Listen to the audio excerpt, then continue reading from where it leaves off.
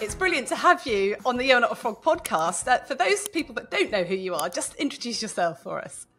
Okay, so Dike Drummond, I'm a family doc from uh, Seattle, Washington, in the United States of America. But I, I did live in England as a schoolboy for three and a half years and have a handful of O levels and learned how to play rugby and drink warm beer. And what we're doing is we're co recording our podcast here. So this is Dike Drummond with the latest edition of the Physicians on Purpose podcast coming at you from both sides of the pond, Seattle, Washington, and England, the, the National Health Service in England. And uh, Rachel and I are recording together here. Rachel, give your little intro. Let's hear it. Yes, I, am Rachel. I, a former GP. I host the You Are Not a Frog podcast. I specialise in resilience uh, in the workplace for doctors and other professionals in high stress jobs. And yeah, my aim is to, quite a grand aim, to, to save the NHS by basically stopping people leaving. oh, nice, yes. nice. Well, my my goal is to is is two part two part to give individual physicians, nurses, other people who work in healthcare, anybody whose programming is the patient comes first, the tools to be able to recognize and prevent burnout in themselves and others. And then in the organizations that employ these people, to give those leaders who have the capacity to create the context and the environment in which people work, give them the tools in order to build a functional organizational coal mine. We got canaries in coal mines, coal mine burnout prevention strategy. And so we work both sides of that equation. Mm. And I, I, love your analogy about the canary in the coal mine. Just just describe that to us because I think it's really powerful. Well, it's a coal mine analogy. Everybody in the north of England would understand it, right? But if you if you go back to the to the time before we had digital air quality indicators, um, mining was very dangerous, at least in part is because in a coal seam, and a coal seam might be 15 feet high, and they're jackhammering into that coal seam, there's bubbles um, and the bubbles contain one of three gases uh, carbon monoxide, carbon dioxide, and methane. And in their natural state, those gases are odorless and colorless. And so people would die in the mine when a when a jackhammer would hammer into one of these big bubbles, the gas would come out of the face and people would just drop. So what they ended up figuring out is that canaries, two things: a male canary never stops singing because he's always looking for a mate. And if you put him in a little cage and take him down in the mine, he'll be tweeting away while you're working. All you had to do is stop every once in a while and make sure the bird's okay, because canaries also die in bad air before humans.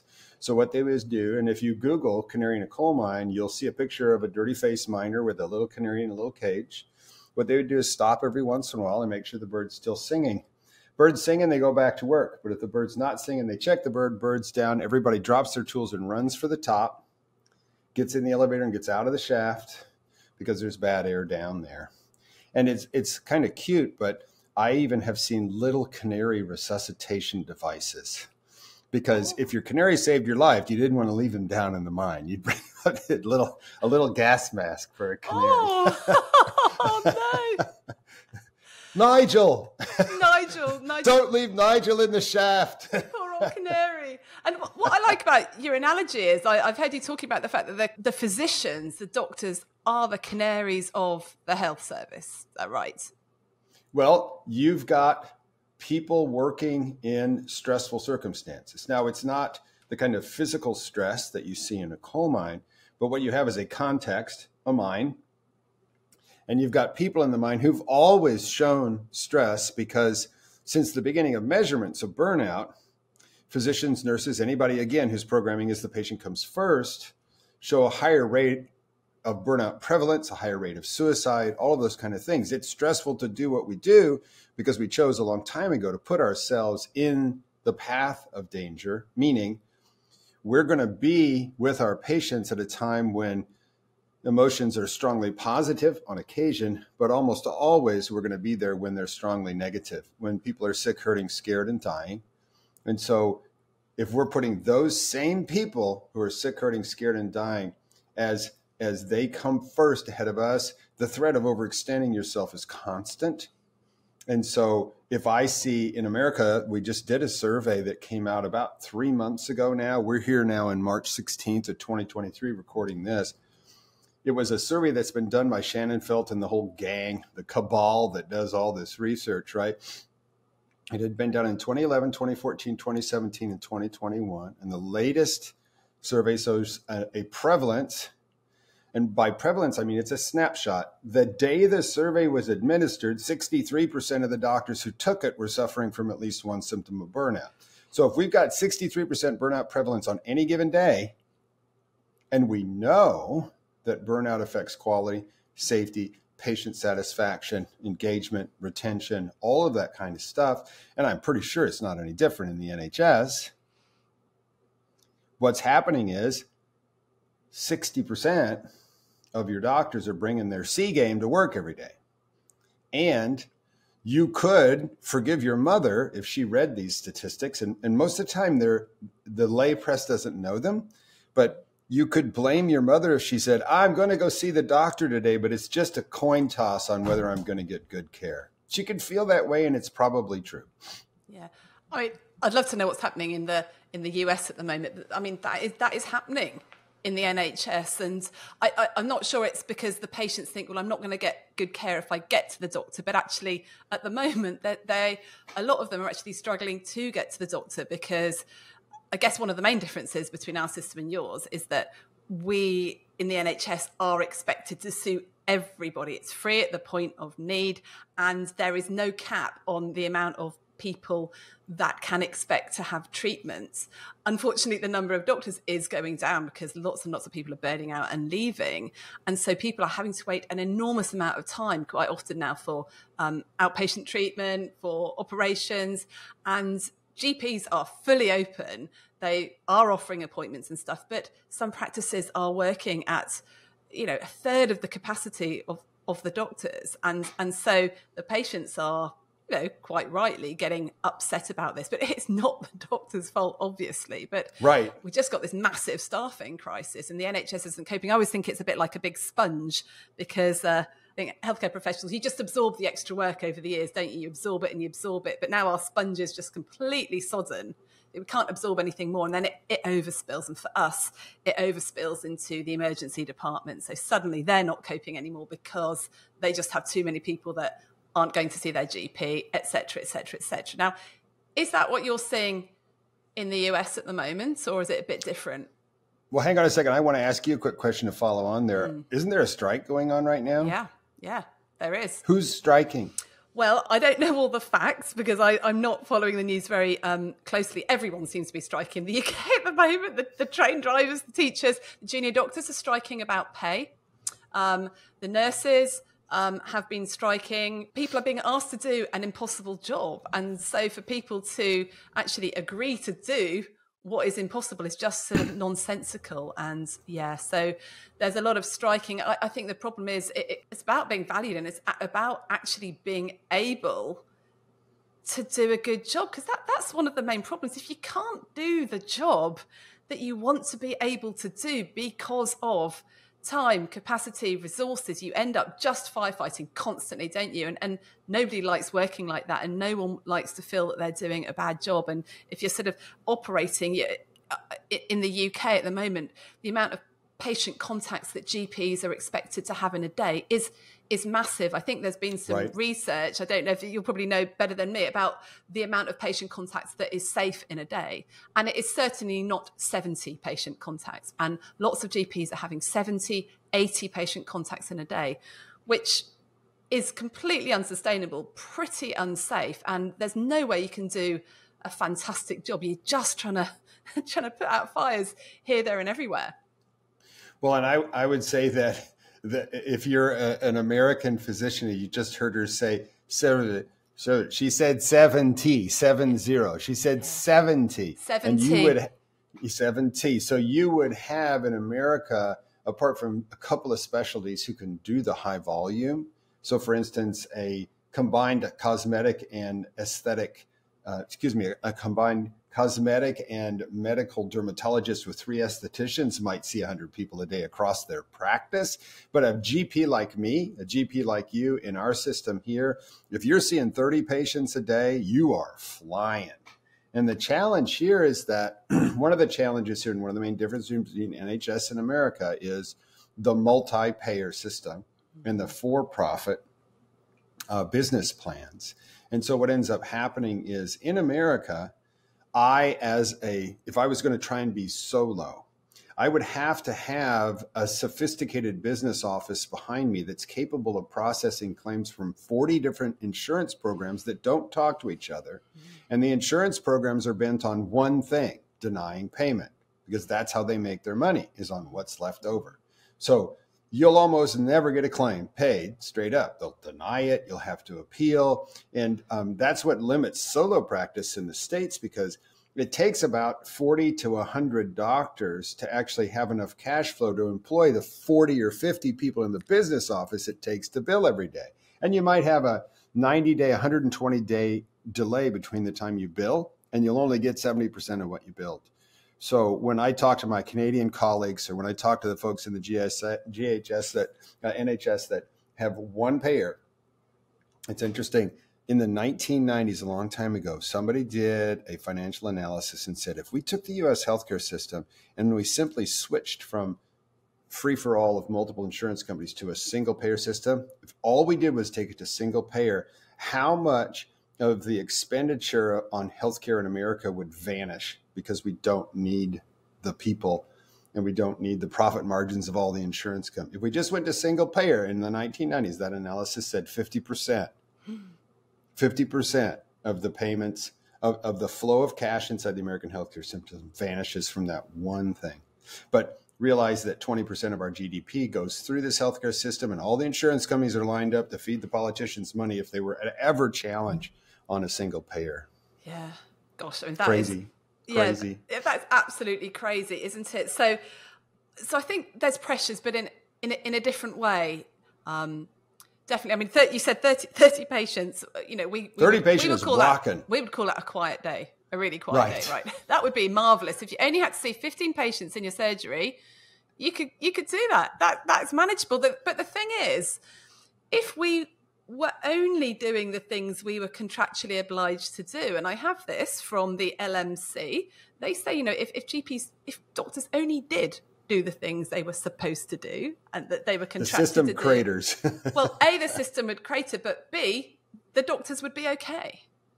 But there is something stopping us from from saying no and and from from working to rule because actually there was a there was a report from the House of Commons that came out um, a couple of years ago now, but it basically it was looking into burnout in healthcare, not just physicians but but all all healthcare professionals, and it actually said that the NHS only works on people doing unpaid overtime, and if people started just doing their job, the entire system would would collapse.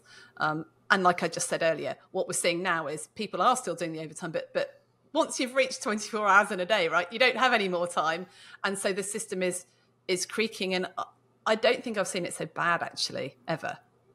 Well, and I can vouch for the fact that a for-profit healthcare delivery system like here in the States also also counts on uh, the physicians showing up and doing extra work and going the extra mile because the patient comes first. So what you have is you have in your case, it's governmental. In our case, it's business. Mm-hmm. But these are bean counting, uh, spreadsheet driven bureaucrats. And I don't know if it's like this in the NHS, but I suspect that it is. For whatever reason, they've chosen to be bureaucrats inside of a healthcare delivery system, but they've never ever seen a doctor do the work. So I've been in front of groups of physician leaders, so like a whole room full of 50 CMOs, and I say, raise your hand if you if you shadow your providers uh, twice a month or more. And in a room of 50 chief medical officers, I'll get one hand go up. And, and if you do that in a room of chief financial officers, the folks who are doing the accounting, no hands will go up. So what you have is an ivory tower applying business principles to a, a commitment we made as physicians and nurses that goes way beyond vocation, way beyond way beyond paycheck. It goes. I wanted to be. I I, I chose to go to medical school. So did you. I call that the light workers fork in the road.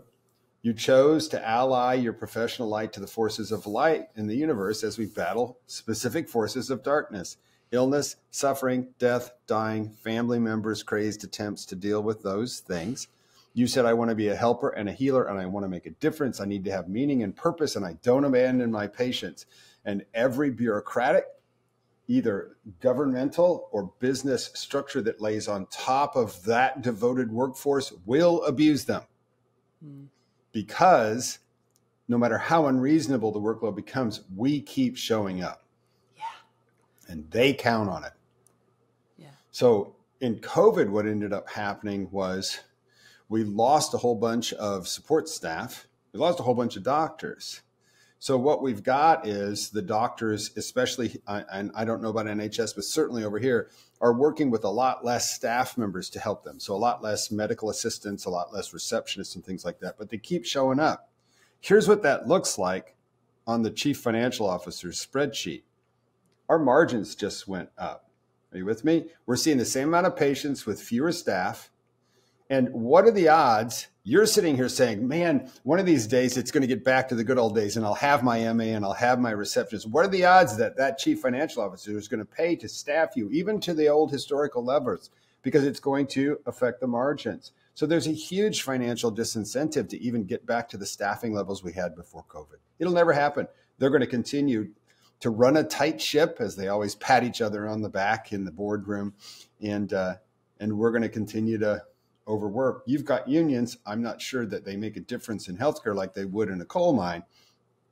Yeah, so you guys are battling against the um, the, the, sort of financial controllers all trying to make a profit. I guess what we're battling against is the the political system, the politicians that say, well, that the NHS is sacred. Obviously, we love the NHS. You know, it's amazing. Go to any other country, you know, the fact you can waltz in, anybody be, gets treated for free. It, it's amazing.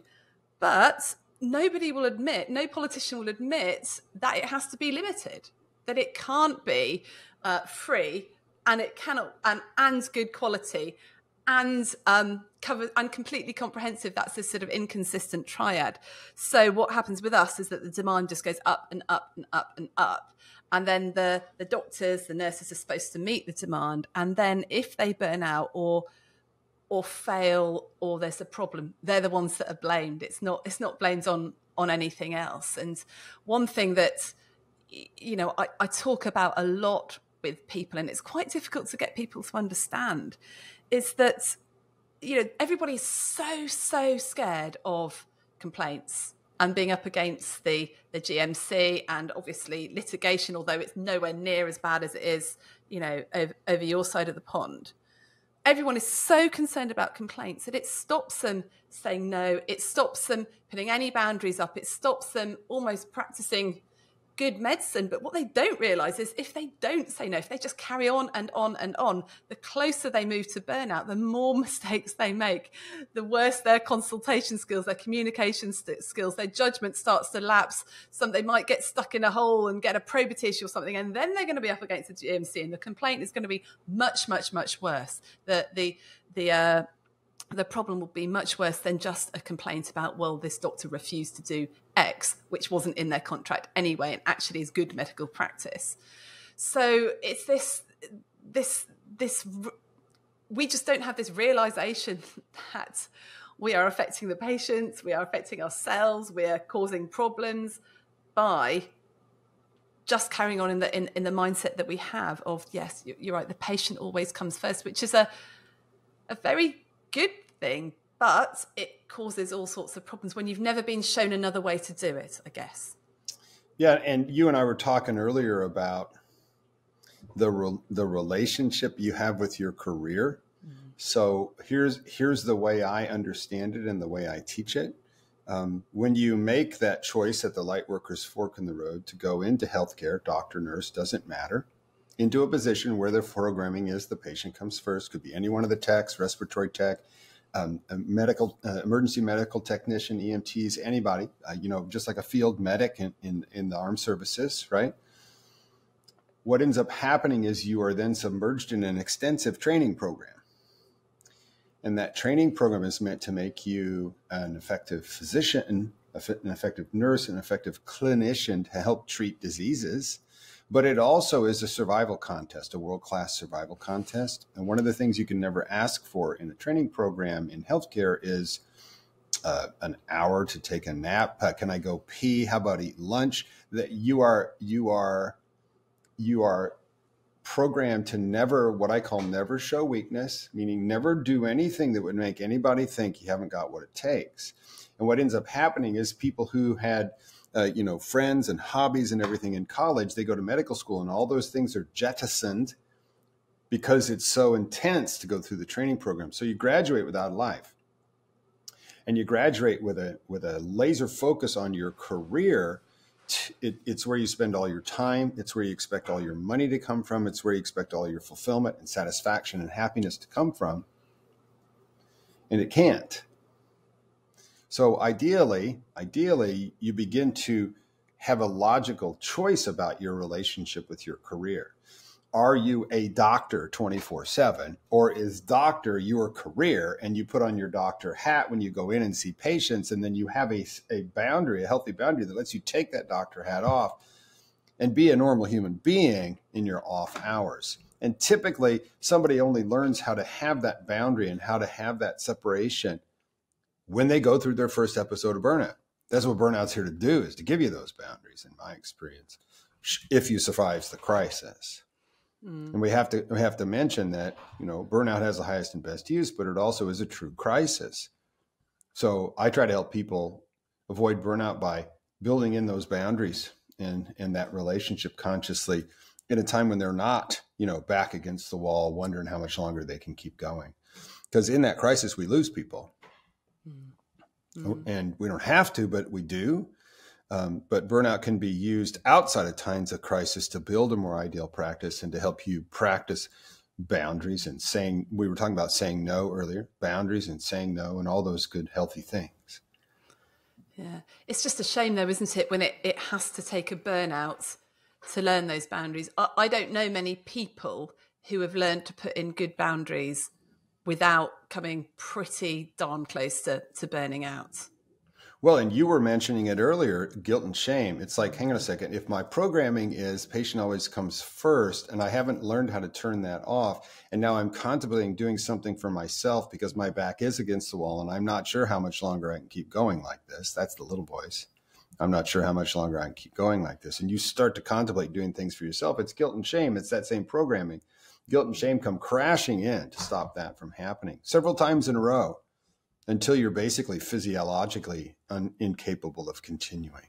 Yeah, and then we have to wait until we literally can't continue because then it's it's almost well it's it's not okay, but it feels okay to then say right that's it I can't do it because because I'm I'm burnt out. We we did a podcast recently with Dr. Sandy Miles about this and she was talking about she'd become very ill um, and felt absolutely terrible uh, because she couldn't work. She was dumping her colleagues in it, all those sorts of things. But she had no choice. She was ill. She couldn't work. The right. problem is to say no, that's a choice you're making. You're choosing to put someone out. You're choosing to not be perfect or admit that you need a, to rest. You're choosing to make someone think maybe slightly badly of you because nobody likes to know, let's face it. And that choosing to do that knocks on your internal values, your internal sense of identity, internal sense of I am always good at this. I mean, uh, I know American physicians work just as many hours as as we used to in the uh, when we were junior doctors. You know, I am someone who could work 120 hours a week. Therefore, I can carry on. But if if I'm ill or if I'm choosing to say no, I'm going to go home after 10 hours. What does that mean for me? And so when we crash up against our internal values and our internal identity, you're right. It's not just guilt we feel; it's shame. It's, I am not enough. I am not good enough. And for somebody to choose to feel that shame is very difficult. It's one thing if you break your leg. I broke my ankle last in, in October. Yeah, I had to cancel stuff. I felt a bit guilty, but you know, it was out of my control. But if I'm choosing to do it, I would say that is almost impossible unless you have utterly changed the story in your head, the dialogue about who you are and, and, and what your identity is. Or you hit the wall, can't go on, and have to regroup. And do, and remember too, you've got guilt and you've got shame, but there's also the third horseman. It's uh, imposter syndrome. Mm-hmm. What if they find out? that and all of these things are are are uh, legacies of our training the programming of our medical mm-hmm. education, right? Workaholic, superhero, lone ranger, perfectionist. It's what we had to do to make it through. The challenge is when you graduated from your training program, you were actually free to do anything you want anywhere in the world. But we were so well programmed as residents that what we did was just look for another set of tracks to step onto and didn't recognize that, that we had made it through the finish line and we are now free. And again, if you're listening to this right now, you're free mm-hmm. you're free. I always tell people, I can't, I can't not, I can't leave. I can't abandon my patients. I can't do this. I can't do that. Okay, hang on a second. What would what would happen at work if you got in a car wreck on the way to work tomorrow and broke your pelvis, and you were out of action for three months? What would they do? Would the patients get seen? So I just want you to know, most people when they quit their job, if they were to go back two weeks later, nobody's talking about you. Yeah, you okay? are not indispensable. totally. You are not. Totally, totally. So, so that when you have that, I can't yeah. not see my patients. Know, who's going to see the patients? Who's going to take care of my staff? That will freeze you in guilt and shame. But I'm telling you, it is a it's a mirage. Mm. It's this, and you have to step through that. Yeah, it's so interesting about choice we feel so powerless. You know, for such an intelligent group of people, we can be really thick when it comes to to choosing. And I know when I'm doing a, a, a training sessions, when we talk about leaving, leaving the surgery. You know, uh, we're not talking about leaving at four four o'clock. We're not talking about leaving at half five. We're talking about leaving like at six, half six, seven o'clock. You know, and people just say, "I have no control over when I leave." Really? So no control over when you leave. So who gets up and goes to your car and drives home then? Mm, well, okay, well, maybe that's me, but I just can't. Well, why can't you? Well, if there's like 20 urgents or extras to see, I just, I just have to see them. I just can't leave them.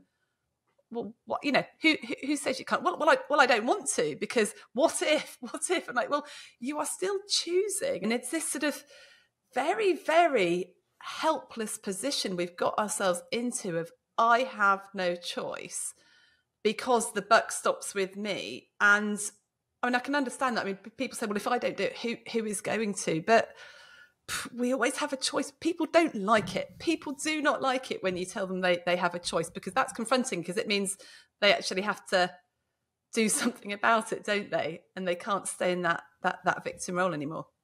Well, if if the choice has is going this way, that's the trend and the choices that you make, and, and you acknowledge it's a choice. That means that you can actually make a different mm-hmm. choice. I usually tell people there's a saying I learned a long time ago. It goes like this: I teach people how to treat me. Mm. Ooh, yeah. I teach people how to treat me. And there's another one that goes with it that says this: You don't get what you want in life; you get what you tolerate. Mm.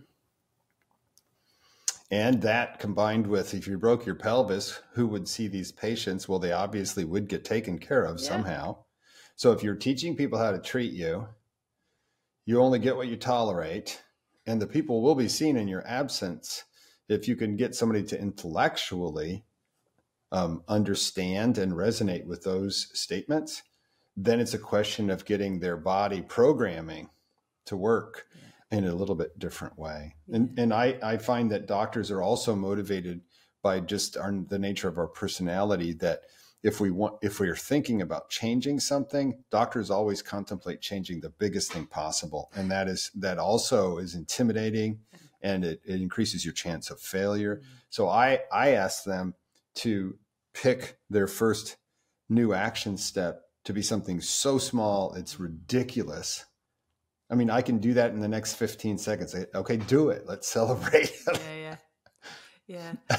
I mean, when you talk about this sort of thing, you always get the comeback, but, you know, what if somebody genuinely might die? What if it's going to cause significant patient harm? That just seems to be the, the pushback that comes that comes all the time. Um, you know, I a webinar I did, I did a little poll. I think I mentioned this to you before, but I asked, why do you not say no to stuff? What stops you?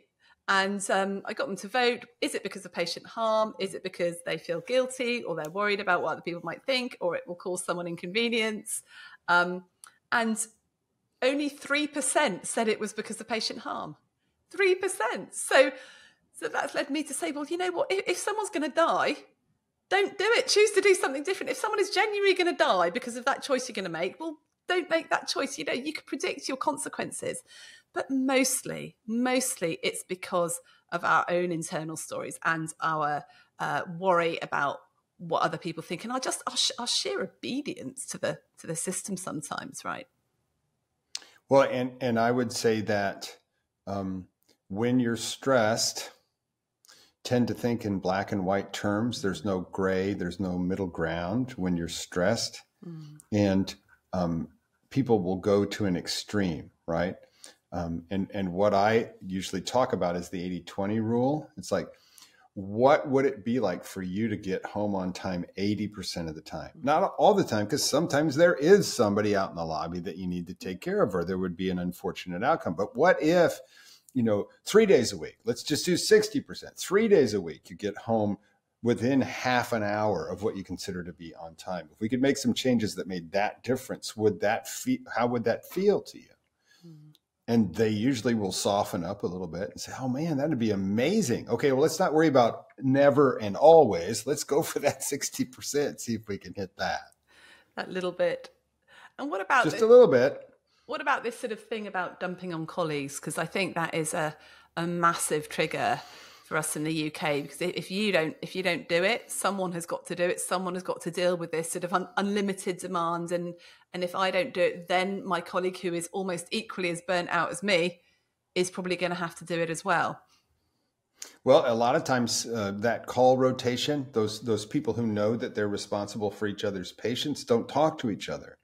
See, I I believe that this sort of making healthy boundaries and uh, recognizing that we're a tribe of light workers taking care of a tribe of patients that if we coordinate our activities and meet outside you know if we have a support group that's local that we meet in if we if we have a, a once a month get together where we have a pint and talk about cases and thank each other for covering for the time that you you know went to the coast or whatever right? That if we start to do that kind of collaboration as practicing physicians all sorts of things become possible. The only reason we operate as you know solo uh, uh, workaholic lone rangers right is because that's the way training was. You know what do they call collaboration in medical school? Cheating. So we're taught to not work with each other. Yeah. we're taught to disagree with each other almost in a debate style like a lawyer would right? Mm-hmm. yes and uh, we do see that in in in gp practices. I've been in to do a bit of team coaching with the, the leadership team and they're not a team. They're just a group of people working in separate rooms who, who get together and try and make some decisions in, in a ridiculously small amount of time. They've never even looked at how they work how they, right. how they work as a team. They're individual gerbils on their own individual gerbil wheel yeah. in their own individual office. And they don't pat the only time they're outside the door they they pass each other like sh- ships in the night. Yeah. Yeah exactly. So it it's tough. I always say to people that it, looking to your very close colleagues for approval and and for them to go, no, don't worry, you go home, you're doing a great job.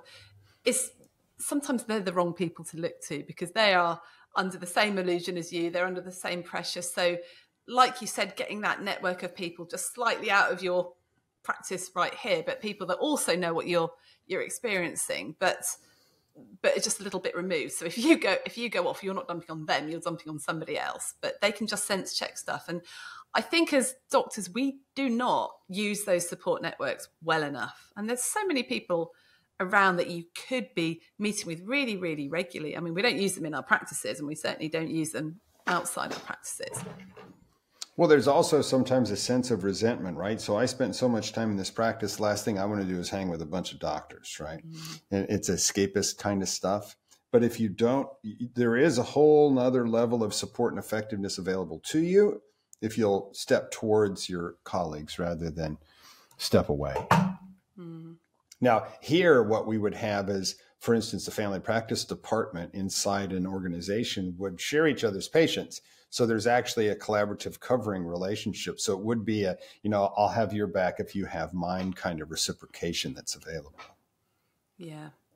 I guess in the in the UK with the, the, sort of general practice that we have, it's sort of like whoever's on call mops up everything. Everyone else sees sees their list, and you're just just trying to get through the day. Really, um, I'm just interested in this sense of identity though that we get from going through these very very competitive med school systems, and how we help people to shift out of the job being being part of who they are into just something around it is a job. Because of course you don't want people to shift too far and it just become a, a whole money making thing. But where what's the sort of the health the healthy way of doing it? Well i have s- several stages that i ask people to consider right? So the default relationship with your career as a physician graduating from the education system is what i call all in. Mm. um, your identity is fused with your profession as a physician. All of your time is spent in your practice. All of your money comes from there. Anytime you do any reading on your own it's about stuff inside your practice unless you're on vacation and have totally you know kicked that to the curb. But all in means if there's any disappointments if there's any overwork if there's any um, uh, professional uh, conflict if there's a patient who isn't liking what you're doing because you're all in infused with that as your identity, it hurts even more. The seesaws are even worse. And the risk of overwhelm is literally 100, 100%. I personally believe that the average doctor goes through burnout a couple of times in their career. Uh, not, not, there's nobody that gets out without going through burnout. Burnout is that point where you get so exhausted, you say, I'm not sure how much longer I can keep going like this. And you make a change in your career. That's burnout that made you do that. So the first is all in. The second is what I call terrarium. So if you remember what a terrarium is, it's usually a 10 gallon fish tank with a lid, and you make a little ecosystem in there. And you can close the lid and it's self contained. It doesn't need to be watered or anything like that. So terrarium means put the lid on your practice, meaning go in, do a great job with your patients, do a great job with your documentation, and then get the heck out of there and don't have anything to do with anything medical until you come back again. Right? Just like the old the old thought process of let's go back to the coal miner. You would punch the clock and go to the pub, right? And you wouldn't talk about the coal mine. Mm-hmm. he's a coal miner, but he's only a coal miner but after he punches in and before he punches out, right? So terrarium. And then some people will do, and I don't know how popular this is in the NHS, but some people will actually terrarium their practice and then take on what they call a side gig. So a little something on the side that they do because it's exciting and, um, and perhaps thrilling, perhaps even a little income stream that is outside of what they usually get for their practice activities. So we got all in, terrarium, side gig, and then the last one would be some sort of transition out of being a practicing physician. Now, there are people, a lot of people, and a lot of wishful thinking about I'm going to quit medicine. But I see very, very, very, very few people actually doing that. There's a lot of aspirational talk and chatter on the internet about how I'm going to quit medicine. But it's very rare. It typically is a process. I'm one of the very few people who've been able to do it. That's how I know there it's rare. I rarely talk to somebody who has been able to make the um, what's the right word the transition, the complete transition. And still, all my patients are doctors. I'm still a doctor, and all my patients are doctors at this point. And I use a little different technique, coaching and guided imagery and things like that in what I do. But being able to terrarium your practice, there's another stage in there called a bridge. So, for instance, I'm going to stop what I'm doing now and I'm going to take a new position, but I don't see this position as my final my final resting place so to speak this i'm taking it to get a break from what i have been doing it's a bridge to someplace else and this bridge is allowing me to support my family and practice my craft as i search do a little better search for what will be my next practice where if everything's okay i'll go all in there really interesting interesting stages. But it's a conscious choice. Yeah. I'm going to have a relationship. It's sort of like it's sort of sort of like uh, dating who are you going to date and it, if you're not infatuated with the person and it's a rational process of you know he makes good money and i really like him and he's fun and all that kind of stuff you can decide who you're going to date kind of a thing yeah yeah that's interesting. You say that. I mean, one of the reasons I called my podcast "You Are Not a Frog" is because it's after that um, there was a study in the the BJGP about doctors leaving the NHS, if it was GPs under the age of 50 leaving the NHS, and, and the reasons that they did it. Um, there were all sorts of reasons, you know, like the admin load, um, they'd had a complaint or something, but by far the biggest reason was the effects on their well-being. And in that um, article, they compared GPs to frogs in boiling water. You know, the, the, the workload has got slowly, slowly, very, very, very high.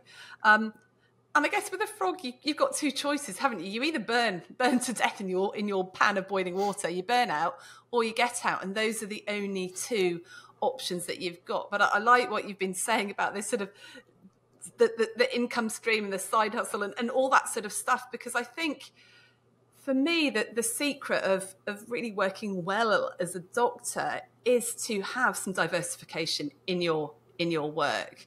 Uh, I, I, was talking to someone who has come over from another country to keep her practice up to date, um, and she had to sort of retrain. She's just done six weeks in a GP surgery, and um, she was doing, I think, six or seven sessions a week. And she said, there is no way she could sustain that, just having done it for six weeks, compared to how it was 10 years ago. You know, there's no way you can do that that full time because you would burn out on the spot. And I think people are, are realizing that, and the people that are doing well are the people that are getting that diversification, that sort of side hustle. And, and, and within the NHS, the great thing is you can find other roles. So you can be like a training program director, or you can sit on the college council, or you can go into a bit of research, or you can do teaching, or there's loads of different stuff that you can do within within your job. But then that carries a little bit of a health warning as well, because whilst I say diversification, great, because it helps you use a different bit of your brain, it gets you different team, all that. What I see happening is people go, yeah, no, I'd like to do something else. So I'll take on that role and they don't drop anything. And then I'll take on this right. role and they don't right. stop any of their more roles. And suddenly they might only be doing, I don't know, four sessions a week as a doctor, but they've got 20 other roles and they're wondering right. why they're never getting a time off. And all they've done is replace one problem with another problem. Well, that's again where you need to have the ability to consciously plan and create this. So, mm-hmm. one of the things that I showed you is my little picture of a doctor in a whirlwind. Yeah, yep, yep. Right. One of the things that doctors need to do is to take some time, and I say weekly, weekly, a few, just a few minutes to work on your practice and not in it. Mm-hmm to step out of the whirlwind of your practice and look at your res- roles and responsibilities, your energy level, your satisfaction. Look at those things because, again, if the patient comes first, where do I come? I come, don't say second because it's last. Okay. so a lot of times there's even guilt and shame around me asking you the question on a scale of zero to 10 how satisfied are you with your practice over mm-hmm. the last couple of weeks? I mean, e- e- that can even be blocked by that patient comes first programming. But I ask that question to a lot of people, everybody I meet, right? So let's ask it. Scale of zero to 10. 10 being couldn't be any better, zero meaning it couldn't be any worse. What's your level of satisfaction with your practice, whatever that is? You may have part leadership position, part mm-hmm. clinical, it may be all clinical, whatever is your practice over the last couple of weeks. What's your satisfaction score? Zero to 10. What is it? Write it down write it down and put today's date next to it. Because potentially, if you want to change things, this is a starting point. Now, close your eyes, take a breath, open your eyes, and look at that number. Are you okay with that number? Or would you like it to be, let's say, half a point higher? Because you can do that. However, you would need to plan it because you're already overwhelmed. You need to plan it. Ideally, you'd need to stop doing a few things to clear some room out so that you could maybe start doing one uh, one different thing. Take baby steps, right? And always be pointing towards what you consider to be your ideal practice. And if you say, you know, I really like treating kids with ADD, ADHD, and if I put the word out to my colleagues in the community, maybe I could see, you know, one in six of my patients in my practice would be ADHD. And I say, well, how, how would that feel? It's like, oh my, that'd be amazing. Okay, great. what's the first step in that? yeah. Not the biggest step. Yeah. The first step.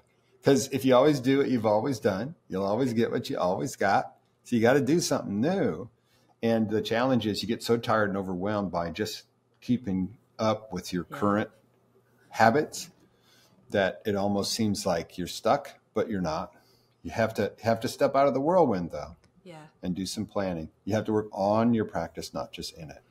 Yeah, it's interesting you say that. Literally, just yesterday, I was recording a podcast about, you know, what, what's your flight plan? What is your flight plan for your life? And flight plan, there you go. Yeah, well, it was just based on a fact I got on this plane, and um, it, it, was uh, coming from a holidays last year, and the pilot got on. We were all just about to go, and the pilot got on the the uh, Tannoy and said, "Well, we are just going to go, but we've just filed our flight plan and it's very different from the flight plan that was filed a week ago by the airline and we just got to work out what's going on. And about 15 minutes later they came back and so lucky they'd checked because they said ah we found out the problem. Uh, someone else filed this flight plan for us and they forgot to add any passengers right so they or we're going to Dusseldorf. Yeah. You thought you were going yeah, someplace said, else. So literally, we've not got enough fuel to fly home. We, we can't actually fly. So we now have to wait two hours to be refueled and then blah, blah yada, yada, yada. It just sort of carried wow. on. But I was like, oh my gosh, that is such a good analogy for life, isn't it? You know, doctors do not file their own flight plans. They let someone else do it and then they don't check if they've got enough fuel to get to where they want to go and um, we end up just being at someone else's beck and call because we, we, we don't we don't look at we want what we want to do but when he just said you know we are too overwhelmed to even do it uh, i think you've hit the nail on the head.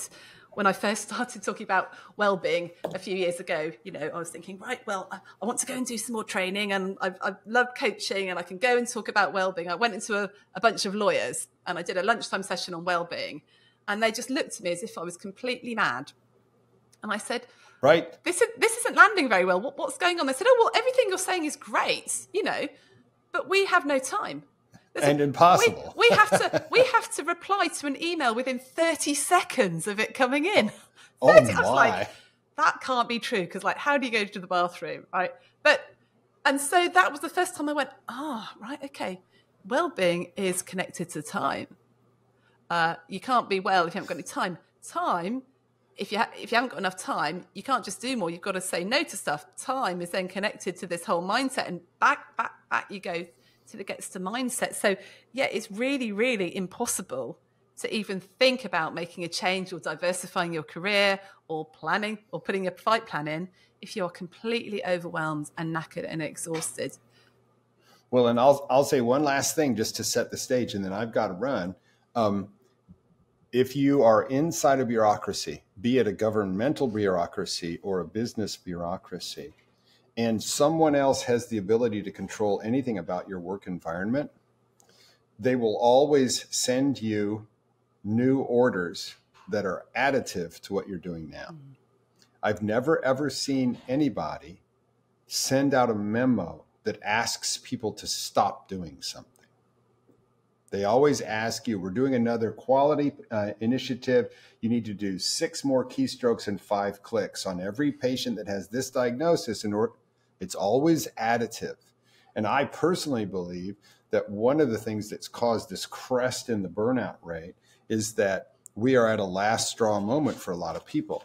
They are literally the chaos and overwhelm of the day is literally has them on on fumes, mm-hmm. right?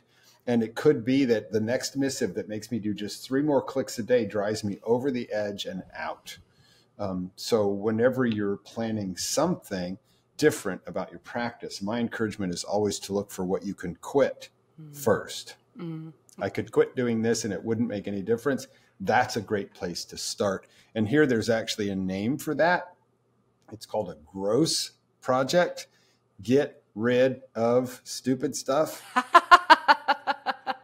Oh, I love that. Oh, and that. across your practice, what you could do is get your partners and your and your team of employees together and say, here's a suggestion box. Write down an idea for something we could stop doing it. It wouldn't make any difference. Put it in the suggestion box and and the smallest number of suggestions I've ever seen when somebody runs one of these contests for a couple of weeks is like 40.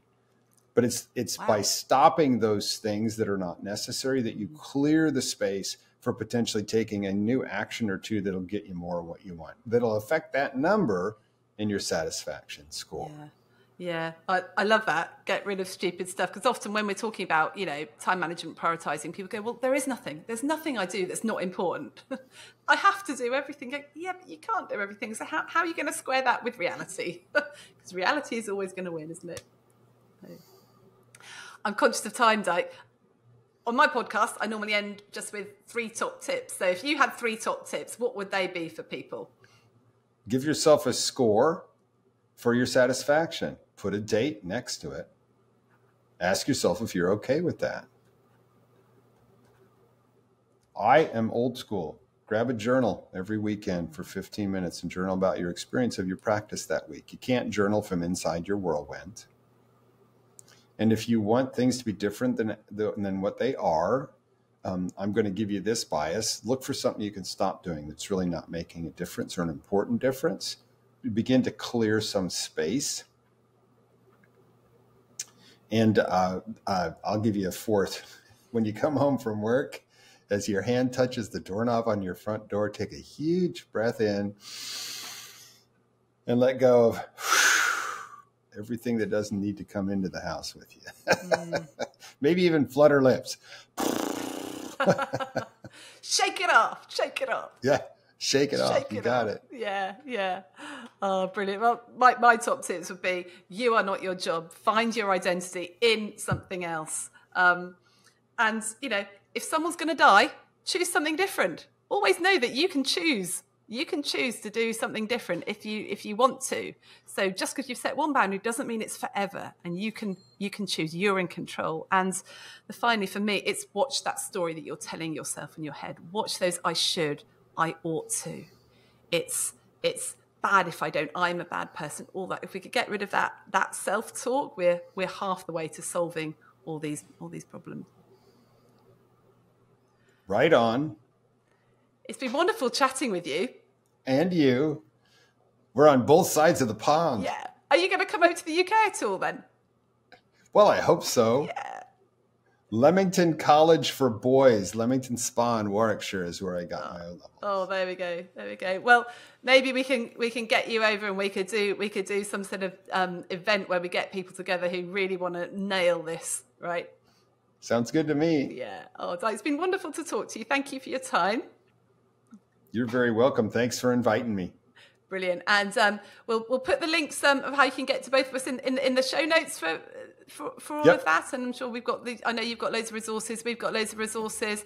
So it's been wonderful connecting with you. And, and, and let, us have another podcast soon because I think we may probably just scratched the surface of what Of course. So Drummond and Morris, Morris and Drummond, right? Love it, love M- it. MD, Mad Dog. Mad there we dog. go, Mad Dog, Morris and Drummond. Yes, both sides of the pond. Have a great day, everybody. Keep first. breathing. Cheers, like. See you soon. Bye. Thanks for listening. Don't forget, we provide a self coaching CPD workbook for every episode. You can sign up for it via the link in the show notes. And if this episode was helpful, then please share it with a friend. Get in touch with any comments or suggestions at hello at youarenotafrog.com. I love to hear from you. And finally, if you're enjoying the podcast, please rate it and leave a review wherever you're listening. It really helps. Bye for now.